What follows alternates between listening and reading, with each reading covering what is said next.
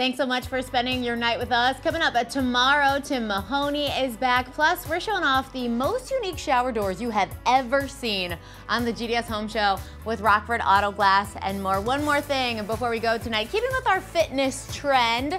So if this is the year that you want to become a runner, like you've never ran before, you might want to take a tip or two from a professional. According to yahoo.com, you actually have to pay attention to the way you're running to be successful. This is hard. I actually do run all the time and I never think about where my body parts are, but your shoulders uh, should be just really right above your hips and your elbows should be bent at 90 degrees, kind of like a robot when you're running. You want to aim to land lightly between your heel and your mid foot on your run and you also want to keep proper body posture while you're running too. I have enough trouble keeping proper body posture while I'm sitting right here, let alone when I'm running. But I'm gonna try. I'm gonna try tomorrow morning uh, when I get on my treadmill to run. Let us know if you're gonna try running this year. You can send us a message anytime on Facebook or an email, gds at fox39.com. We always love to hear from you. Have a great rest of your night and we will see you tomorrow night. Bye-bye.